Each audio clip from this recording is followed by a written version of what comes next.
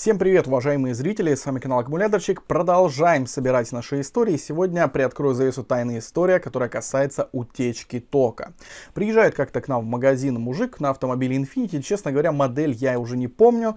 Говорит, слушайте, какая-то проблема возникает. Говорит, вот э, где-то неделю езжу, езжу нормально, потом раз, в какой-то момент не могу запустить мотор. Потом, например, а, заряжаю аккумулятор, езжу еще там дня 2-3, опять аналогичная ситуация, можете, говорит, посмотреть там и так далее. Мы, сразу скажу, мы не профессиональные автоэлектрики, наш магазин не рассчитан на супер-пупер диагностику, можем сделать простенькую диагностику, э, в которую входит проверка утечки тока, проверка потребления стартера и работа генератора, то есть напряжение борт сети.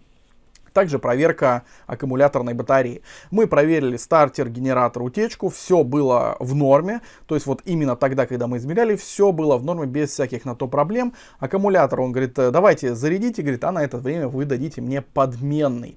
Ну, мы, естественно, сделали эту процедуру, и это очень такой важный момент. То есть для того, чтобы пока что не покупать новый аккумулятор, можно взять подменный и посмотреть, проявится проблема или нет. Если проблема не проявится в ближайшем, так скажем, будущем, да, там вот э, с той периодичностью, с которой она была, соответственно, в этом случае виноват с большей долей вероятности именно аккумулятор.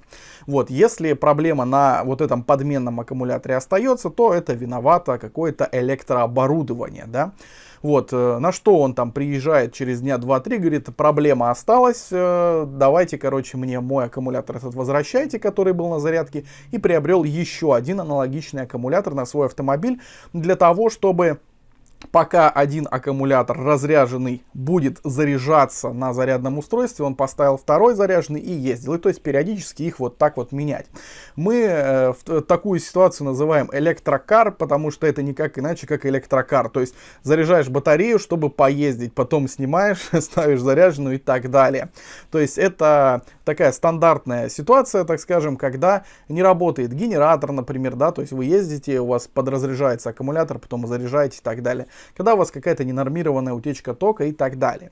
Вот в этом случае как раз-таки э, была утечка тока, и она была э, не постоянная, а такая плавающая. То есть она могла проявиться на третий день, могла проявиться на, на, на следующей неделе, могла, могла проявиться там через несколько часов и так далее. То есть ее вот прям вот, вот конкретно в данном данную секунду не поймать. На что мы посоветовали обратиться в какой-то качественный автосервис, где именно работает качественный автоэлектрик. Ну, он э, уехал, там, приехал уже где-то, наверное, через недели полторы-две, приезжает и говорит, ну, говорит, что съездил я, говорит, в автосервис, вот, не знаю, честно, в какой, вот, на что, говорит, там, говорит, установили, да, это, скорее всего, именно плавающий вот этот дефект, плавающая утечка тока, вот, э, на что они там проверили, посмотрели и сказали, ну, мы, мол, установить не можем, что именно э, и э, где именно этот вот блок, где именно этот потребитель, который у вас высаживает аккумулятор, и, говорит, сказали, что может быть там тысяча разных причин, поэтому как бы ничего мы делать не будем, и отдали ему автомобиль вот э, в состоянии, так скажем, вот этой поломки. То есть поломку не устранили. Вот, на что человек говорит, ну, мне это, честно говоря, уже поднадоело, и продал этот автомобиль, когда приехали покупатели, он э, аккумулятор этот э, второй, говорит, возьмите, говорит, на всякий случай, типа, они говорят, а зачем? Он говорит, да, мало ли что, говорит, в дороге там и так далее. Говорит, отзвонитесь обязательно, когда едете до там, своего места проживания. Они, говорит, там э, уехали, потом отзвонили, говорит, все нормально, тачка огонь, спасибо, мужик, там все такое. Он говорит, все, пожалуйста, говорит, и так далее. И то есть здесь напрашивается два вывода по поводу э, вот этой ситуации, конкретно утечки, ремонта утечки, да, потому что э, первый момент может быть действительно какая-то утечка, которую очень тяжело и нереально найти, да, что я думаю, конечно, вряд ли. Второе это квалификация вот этих людей, которые и производили э, поиск и ремонт вот этой утечки тока.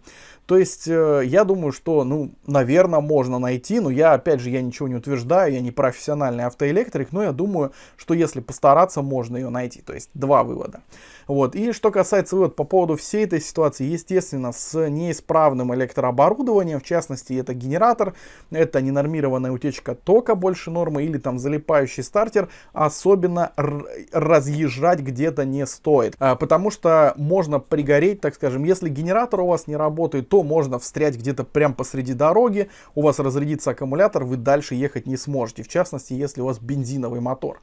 А, если у вас ненормированная утечка тока, вы можете приехать в Ашан, а, пока ходили пришли, все, запустить э, не сможете, приходится бегать, э, там, искать, кто подкурит, или там э, искать запасной аккумулятор где-то. Также и залипающий стартер, это вообще, наверное, самое страшное, если еще коробка автомат, то есть довольно сложно будет как-то попытаться запустить, потому что подкурить это можно найти, да, можно купить новый аккумулятор поставить, а вот залипающий стартер это очень геморная тема, поэтому старайтесь всегда устранять те неисправности, неисправности по электрооборудованию, в частности вот эти жизненно важные да, для запуска и для дальнейшего движения автомобиля, и будет все у вас отлично и в порядке. Ну вот такая вот история, кто что думает по ее поводу, пишите вниз в комментариях, если у вас есть какая-то история, желательно подкрепленное фото и видео, э, присылайте на e-mail, он указан вот здесь вот, э, на этом, пожалуй, все, ставьте лайки, всем спасибо за просмотр, всем пока.